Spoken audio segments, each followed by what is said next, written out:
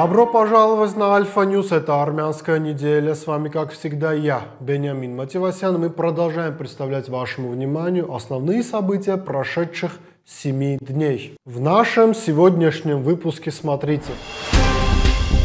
Баку готовится к декабрьским переговорам увеличением своих военных расходов, а Никол Пашинян – сменой имиджа. Зангезурский коридор реальнее любого из обещаний Никола Пашиняна и парад отставок в армянском правительстве.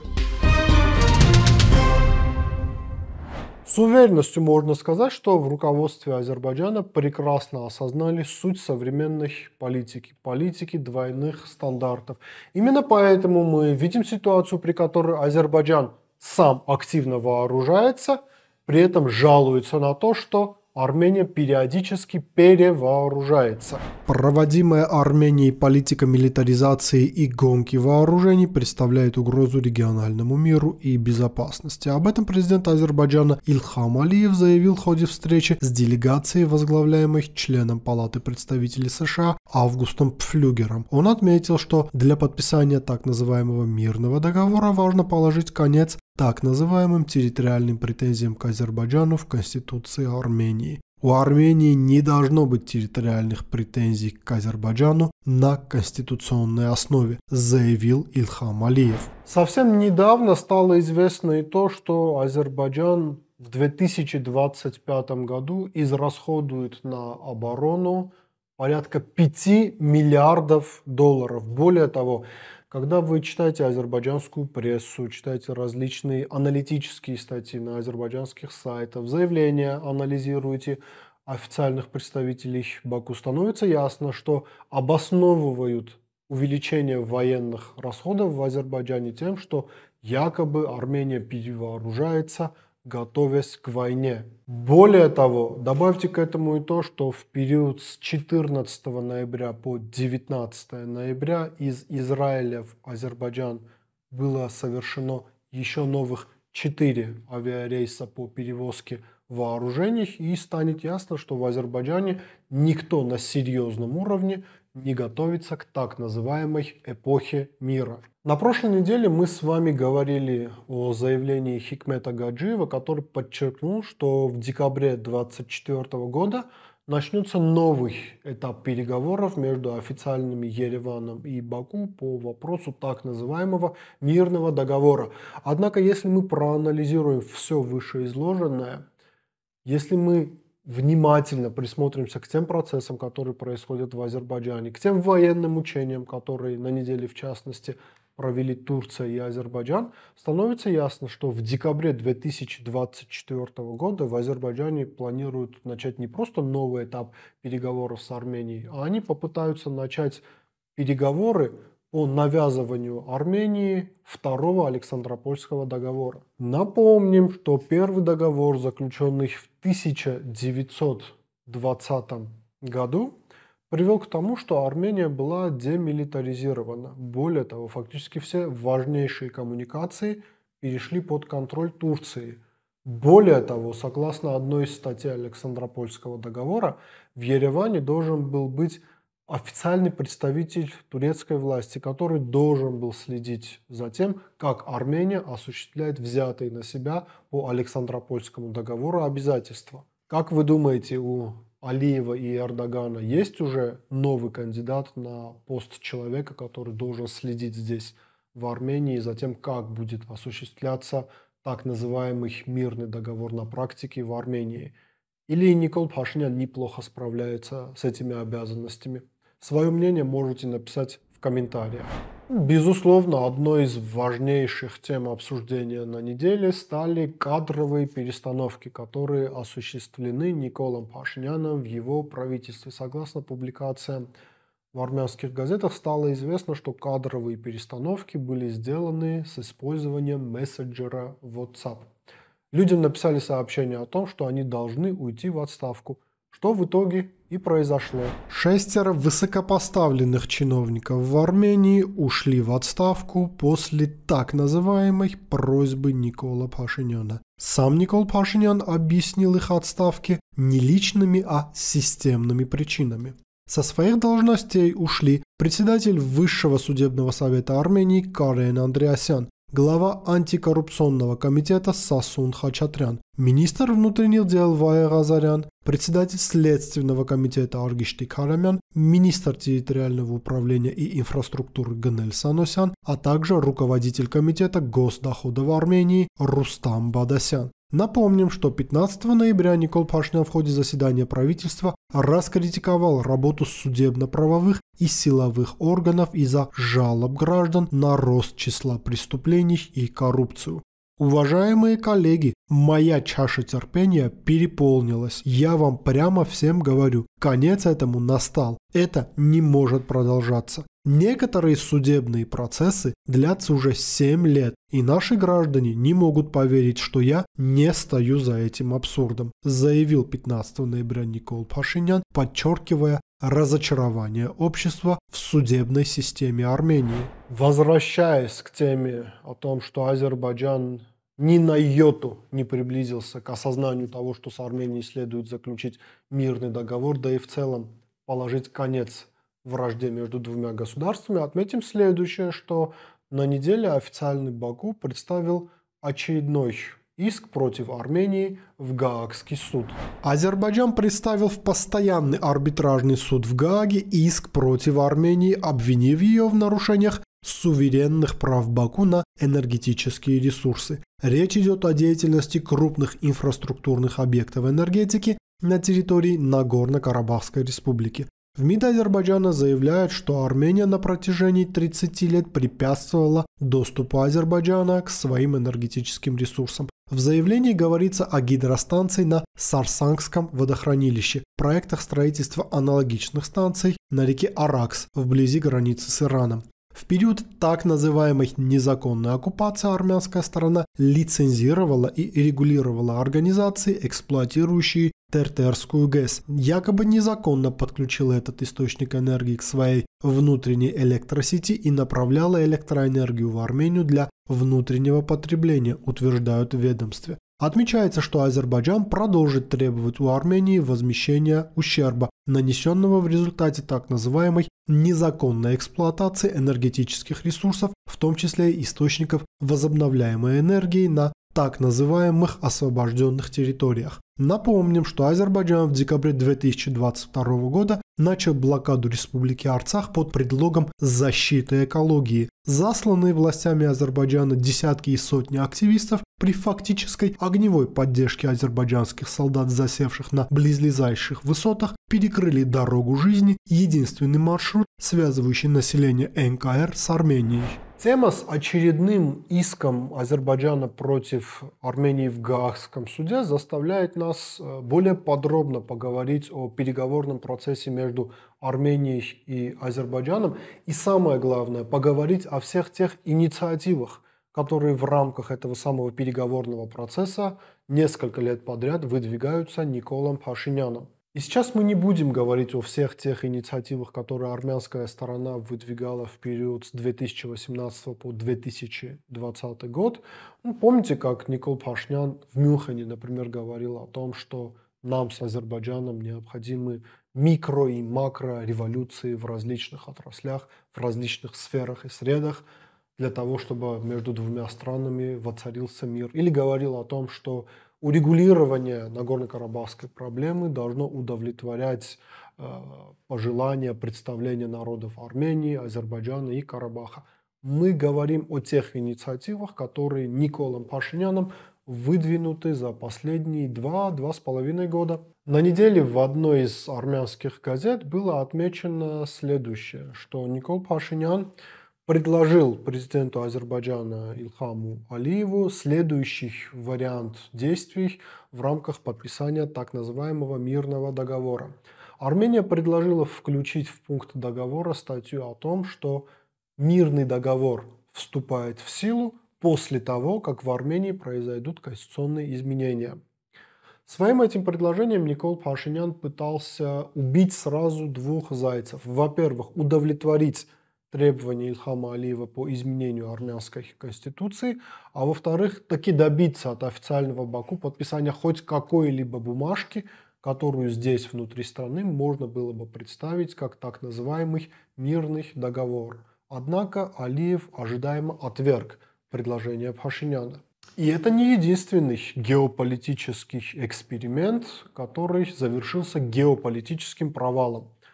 Дорогие друзья, помните, что произошло весной 2022 года? Никол Пашинян, выступая в Национальном собрании Армении, заявил о том, что если Армения опустит планку ожиданий по статусу Нагорно-Карабахской республики, это с одной стороны позволит Еревану добиться обеспечения прав и безопасности населения Нагорного Карабаха со стороны Азербайджана, но самое главное, это позволит обеспечить широкую международную консолидацию вокруг Армении и Нагорного Карабаха. Но что произошло потом? Никол Пашинян отправился в Прагу осенью 2022 года своим личным решением признал Карабах частью Азербайджана. В 2023 году, когда Азербайджан стал осуществлять этническую чистку армян в Нагорно-Карабахской республике, Никол Пашинян не вмешался – в этот процесс, но Азербайджан не только проведя этническую чистку, не обеспечил безопасность и права армян Карабаха, но и не признал территориальную целостность Армении в соответствии с Алма-Атинской декларацией. Иными словами, геополитическая инициатива Никола Пашиняна весны 2022 года провалилась. Помните еще одну инициативу Никола Пашиняна и аппарата правительства – создать двусторонний механизм изучения событий на линии соприкосновения войск Армении и Азербайджана. Неоднократно и Никол Пашинян говорил об этом, и администрация Никола Пашиняна делала соответствующие заявления. Азербайджан не просто отвергает это предложение Армении, но и при любом инциденте на границе обвиняет в нем официальный Ереван. То есть мы вновь видим схему предложения Пашиняна провал. В самом начале 2024 года Никол Пашинян сделал еще одно геополитическое предложение – подписать Армении и Азербайджану пакт о ненападении. Азербайджан не просто отверг это предложение, но, как уже было отмечено в рамках нашего выпуска, в 2025 году израсходует на оборонные нужды порядка 5 миллиардов долларов. Вновь, предложение провал. А уже в конце 2024 года Никол Пашинян предложил Армении и Азербайджану подписать не только мирный договор, но и некий стратегический договор, или как он сам заявил, некую стратегическую сделку заключить Азербайджану и Армении по поводу того, как мы будем сосуществовать вместе в одном регионе следующие 100, 200 300 лет. Азербайджан не просто отверг это предложение, а, как мы уже отметили, очередные иски против Армении представил в Гаагский суд. Остается только понять, насколько хватит у армянской государственности иммунитета для того, чтобы противостоять экспериментам, которые осуществляются против армянской государственности со стороны Никола Пашиняна и властей Армении. Да, сегодня мы вынуждены говорить только о неком государственном иммунитете, поскольку физической глубины территорий у нас не осталось после того, как Никол Пашнян своим личным решением сдал Арцах Азербайджану. На неделе из заявлений турецких и азербайджанских чиновников стало ясно, что ни Анкара, ни Баку не отказываются от темы так называемого Зангезурского коридора – в частности, об этом высказался представитель Ильхама Алиева Эльчин Амирбеков.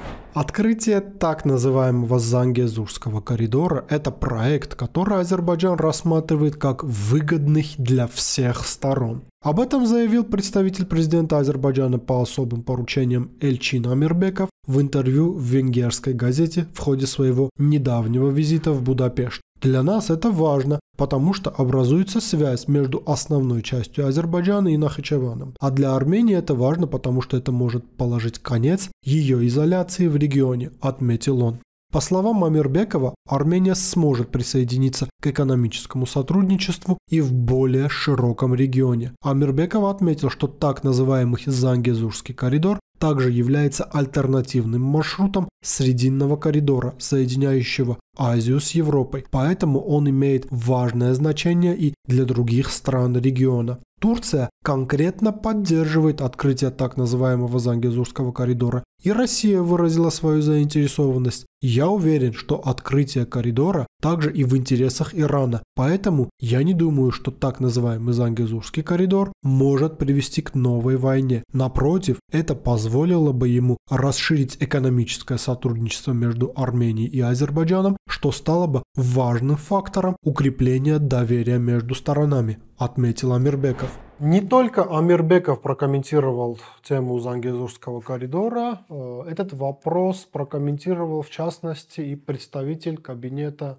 министров Реджепа Таипа Эрдогана, министр транспорта Турции Абдул Кадыр Урароглу. Из заявлений турецкого чиновника стало ясно, что в Анкаре воспринимают Зангезурский коридор как проект, маршрут которого должен определить Баку, поскольку Урароглу сказал, что их азербайджанские братья должны решить, пройдет ли Зангезурский коридор по территории Ирана или по территории Армении. Однако самое главное из заявлений Урароглу стало известно, что в Турции уже проведены тендеры по строительству соответствующей инфраструктуры в рамках так называемого Зангезурского коридора, и вскоре начнется строительство необходимой инфраструктуры. Вы представляете, дорогие друзья, даже несмотря на то, что Никол Пашинян, у которого была борода, сменил свой имидж, Турция и Азербайджан – не отказываются от так называемого Зангезурского коридора.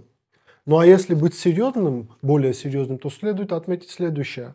Заявления турецких и азербайджанских чиновников говорят о том, что несмотря на все заявления представителей официального Еревана, несмотря на заявление о том, что вопрос, касающийся коммуникаций, выведен за скобки переговоров по так называемому мирному договору, ничего хорошего будущие переговоры Армении не сулят. Если же попытаться по пунктам разложить последствия заявлений Урароглу и Амирбекова, то следует отметить следующее. Во-первых, после того, как в Азербайджане стали инвестировать в проект так называемого Зангезурского коридора, инвестиции в этот проект начинает осуществлять и официальный Баку, что означает, что ни Алиев, ни Эрдоган не отказываются от тех положений, которые в свое время – были закреплены ими в рамках Шушинской декларации. Более того, очевидно и то, что после подписания, если, конечно, оно все-таки произойдет, так называемого мирного договора, для Армении начнется период новых и, возможно, даже более сложных переговоров по так называемому Зангезурскому коридору. Давайте четко определим, переговоры будут не по вопросу о разблокировании транспортных коммуникаций. Армения потеряла для себя шанс добиться разблокирования транспортных коммуникаций в регионе после того, как сама саботировала реализацию соглашения 9 ноября 2020 года. Нас сейчас ждут переговоры именно по так называемому Зангезурскому коридору. Если же к этому добавить заявления, о которых мы сегодня уже с вами говорили, заявление президента Азербайджана, который выступает против возможностей Еревана по перевооружению своей армии. Если же наш тезис о том, что Азербайджан и Турция будут добиваться подписания новой формации Александропольского договора, то это означает следующее, что в какой-то момент Баку и Анкара поднимут вопрос об обеспечении безопасности коммуникации в рамках так называемого Зангезурского коридора. И поскольку к этому времени, в соответствии с их требованиями, Армения будет демилитаризирована, то вполне возможно, что они выступят с предложением, с требованием скорее, о том, чтобы безопасность этих коммуникаций – осуществлялась бы со стороны Азербайджана или, скорее всего, со стороны Турции. Более того, если наши предположения верны, а также с учетом того, что в Турции, по крайней мере в эрдогановской Турции, к многим вопросам относятся системно, будет вполне логично, если следующим требованием официальных Анкары и официального Баку станет полный вывод любого военного или иного контингента, которые э, Баку и Анкара считают для себя угрозой с территории Армении, с армяно-азербайджанской границы, с армяно-турецкой границы. Вывод российских пограничников, которые обеспечивают безопасность на армяно-турецкой границе уже несколько десятков лет, является одним из самых фундаментальных требований Турции в отношении Армении в контексте так называемого налаживания отношений между сторонами. Будет абсолютно неудивительно, если в какой-то момент власти Армении попытаются реализовать это требование. На самом деле в данной ситуации есть всего один вопрос. Глава погран войск э, службы национальной безопасности Армении полковник Унанян уже обратился к российским коллегам с просьбой вывести контингент российский с армяно-турецкой границы, со всего периметра армяно-турецкой границы.